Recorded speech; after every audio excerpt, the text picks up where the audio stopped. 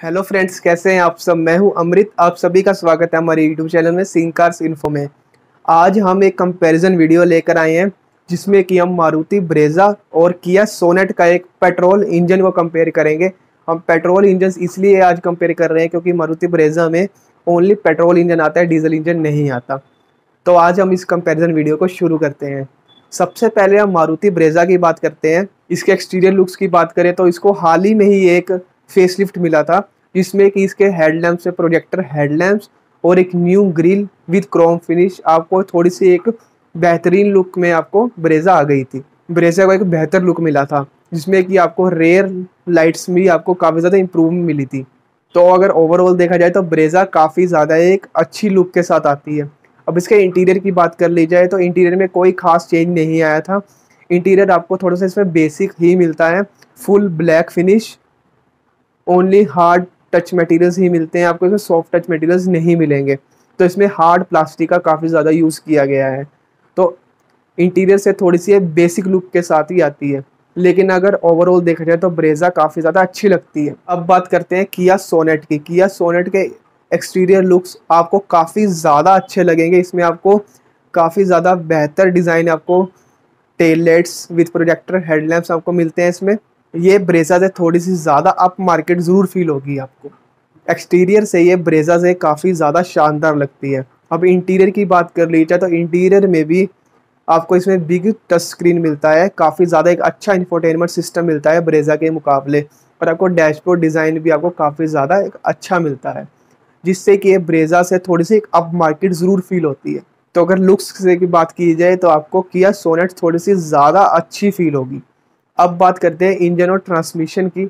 Brezza में आपको 1.5 litres का पेट्रोल इंजन मिलता है, जो कि 103 bhp की पावर जनरेट करता है और 138 न्यूटन मीटर्स का टॉक जनरेट करता है। वहीं पे किया सोनेट में आपको 1.2 लीटर्स का पेट्रोल इंजन मिलता है, जो कि 81 bhp की पावर जनरेट करता है और 115 mm का टॉक जनरेट करता है।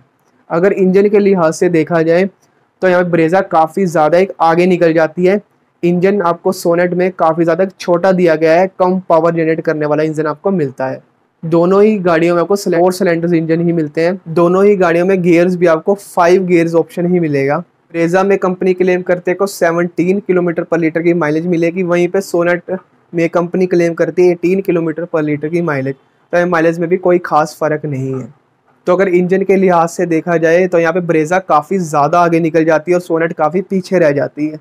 अब यहाँ पे डायमेंशंस की बात कर लेते हैं। ब्रेजा और सोनेट दोनों में ही three nine and five M की लेंथ मिलती है और विड्थ भी दोनों में सेम मिलती है वन सेवन नाइन ज़ीरो की और हाइट भी ऑलमोस्ट सेम मिलती है। ब्रेजा में वन सिक्स फोर ज़ीरो की और सोनेट में वन सिक्स फोर टू की। तो यहाँ पे डायमेंशंस के अकॉर्डिंग देखा जाए तो दोनों ही गाड़ियाँ बेहद सेम है। कुछ फ़र्क नहीं है। और व्हील बेस भी दोनों में 2500 फाइव mm का ही मिलता है। और यहाँ पे बूट स्पेस की बात कर ली जाए तो ब्रेजा में आपको 328 लीटर्स का बूट स्पेस मिलता है और वहीं पे सोनेट में 392 लीटर्स का बूट स्पेस मिलता है। बूट स्पेस आपको थोड़ा सा ज़्यादा मिलता है सोनेट में। डायमेंशन में देखा जाए तो दोनों गाड़ियों में कोई खास फ़र्क नहीं है, दोनों ही गाड़ियाँ एकदम बराबर ही हैं। और दोनों की रोड प्रेजेंस भी सेम ही लगती है। बात करते हैं प्राइसिंग की, कि आपको कितना पे करना पड़ेगा। सबसे पहले ब्रेजा की प्राइसिंग की बात करते हैं। ब्रेजा शुरू होती है 7.69 लैक्स और जाती है 11.34 लैक्स ये प्राइजेस एक्स शोरूम है।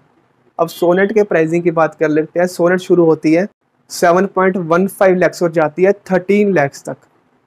तो ये प्राइजेज है एक्स शोरूम अगर देखा जाए तो प्राइसिंग में कोई खास डिफरेंस नहीं है। दोनों ही गाड़ियाँ शुरू होती हैं, लगभग सेम ही प्राइस है, लेकिन सोनेट एक लाख महँगी है, क्योंकि उसमें ज़्यादा फीचर्स आते हैं। सोनेट में आपको सनरूफ भी मिलता है।